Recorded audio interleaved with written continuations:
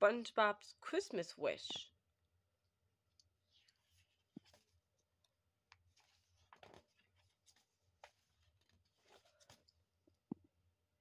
SpongeBob crept quietly to the door of Sandy's tree dome.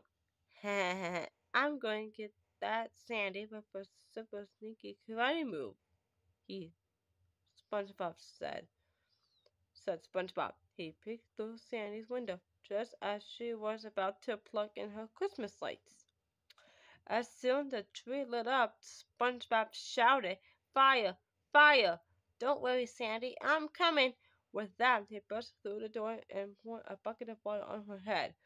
What in the name of Elmo is wrong with you, SpongeBob? she asked. I guess there is no fire, he replied sheepishly. Have you ever seen a Christmas tree? asked Sandy. Christmas who? said SpongeBob asked. Is she a friend from Texas? So Sandy sat down and told SpongeBob all about her favorite holiday. She told him about the toy making elves and flying reindeer, about baking cookies and hanging stockings, and best of all, she told him about Santa Claus. SpongeBob ran to the Krusty Krab to tell his friends about Christmas, and everyone pretends to like fruitcake. SpongeBob reported, but the best part is that you can write run around to this guy, Santa Claus, and just tell him tell him what you want and he'll bring it to you. I don't know about your lovers, said Mr. Krabs, but any fellow who is giving away free stuff is a friend of mine. That's the spirit, cried SpongeBob. Here's some paper. You can get started on your letters. Squidward rolled his eyes. I can't believe anybody would celebrate a holiday where a jolly partner breaks into your house and leaves gifts. Come on, Squidward, write a letter, begged SpongeBob. Squidward took his head. Grow up, will ya? No one's going to give me a gift because I just because I wrote him a stupid letter. Patrick was trying to write his letter, but the paper kept ripping in half. SpongeBob showed him how to do it. Dear Santa, SpongeBob wrote as he began his own letter. What do I want for Christmas, you may ask? All I want is for you to visit down. I want you to visit the dental of Bikini, the folk at Bikini Bottom. That is my wish. Later that day, SpongeBob showed Patrick his invention for sending letters to Santa. See, Patrick, you put your letter in the bottle, stick the bottle in the machine, and then the fire in a hole you shot it as as the bottle shot out of the bikini bottom to the, to the surface. Neat, said Patrick. Send mine. What did you wish for? asked Patrick as he looked at Patrick's bottle. Another piece of paper, Patrick said with a sigh.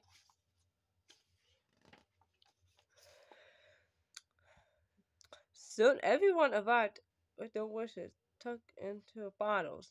What did the boy wish? What did you wish for, little girl? asked SpongeBob. One teeth, she replied hopefully. I could use a new hat. I need a new hairstyle. I like a glass of water for my teeth. Hmm. then Squidward punched through the crowd. What's your wish? SpongeBob asked him. Squidward scowled. My wish is that the people of Bikini Bottom would stop paying attention to the ridiculous double that that is constantly steaming out in the, the Thunderhead's mouth. Gee, Squidward, said SpongeBob, smiling. Maybe Santa will bring me and then so I could understand what you just said.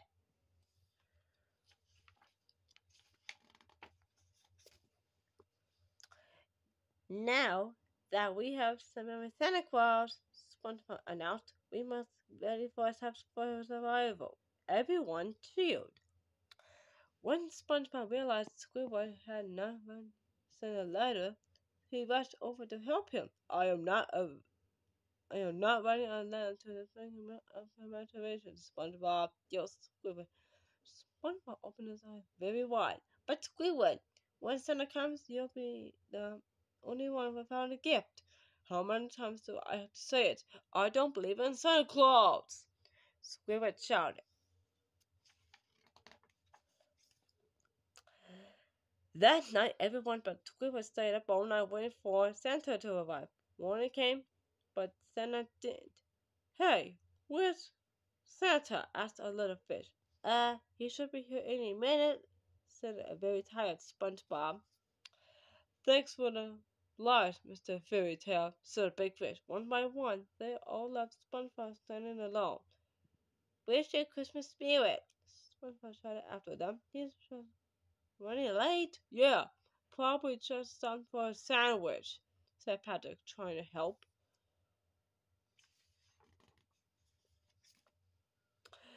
When Squidward woke up the morning, he looked out his window. He didn't see a single sign of Santa Claus. Merry Christmas, Squidward, said Squidward as he danced around SpongeBob, laughing.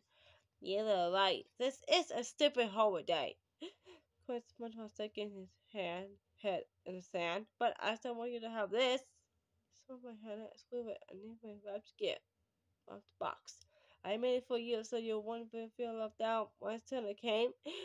SpongeBob said SpongeBob, his eyes up with tears. Gee, I, um, I don't know what to say, said Squidward. You're welcome. SpongeBob replied as he cried all the way home.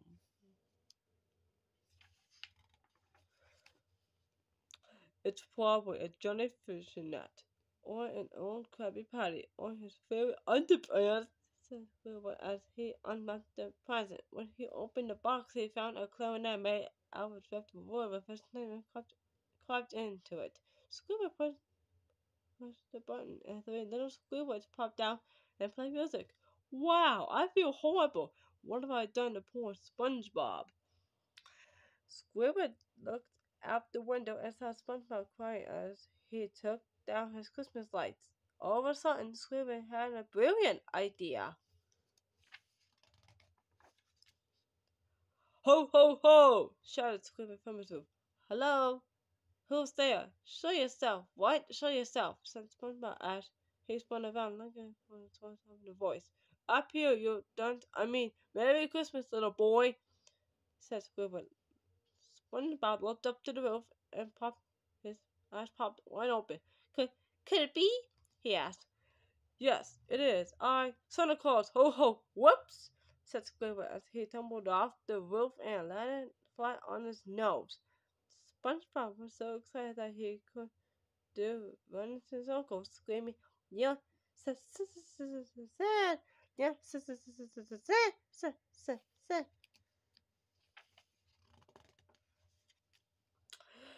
All right, now take it easy, said Squidward. I know you'll make it, cried SpongeBob. Where's that big Billy? Squidward had to think. Uh, that's the result of uh undersea pressure on my body. Where are your reindeer? asked SpongeBob asked. In your flying machine. Squidward had to think fast again. Uh, along with them an Easter bunny. And what about that big nose? He added, honking Squidward's long nose. I knew you were supposed to have a big one, but uh, the thing's gigantic.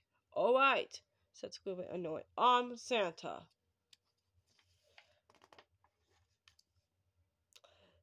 SpongeBob hugged him tight. This is the greatest gift you could ever give. Thank me. Thank you. Well, thank you for bringing Christmas to Bikini Bottom. Squidward looked into SpongeBob's big teary eyes and said, I didn't bring Christmas to Bikini Bottom. You did. I did? asked SpongeBob in disbelief. Just then, a little girl fish walked up to Squidward. Do you have a present for me, Santa? she asked. Uh, just a second, said Squidward. He looked around his house for something to give her and ran back outside with a wrench. Thanks, Santa, she delighted with her gift. Huh, said Squidward, shrugging.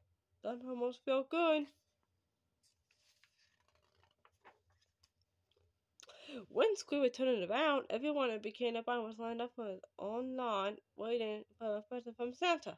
Squidward gave each of them from his house, and before he realized it, he had given away everything he owned.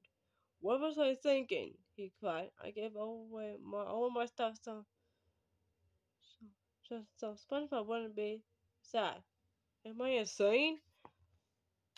Just then, there was a knock on Squidward's door. You missed him! shouted SpongeBob as Squidward opened the door. He came, he gave all his presents. He was chubby and he had a beard. He was friendly and kind and sunny-ish. His belly was small, but his nose was huge with Christmas joy. SpongeBob was a mile a minute. Squidward just spun him around and turned him home.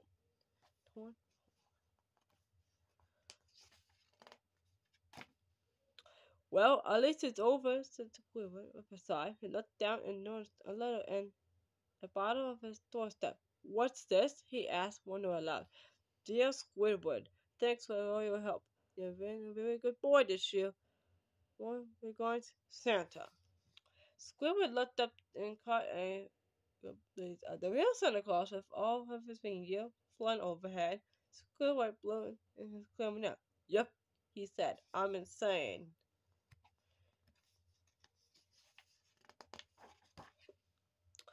Merry Christmas.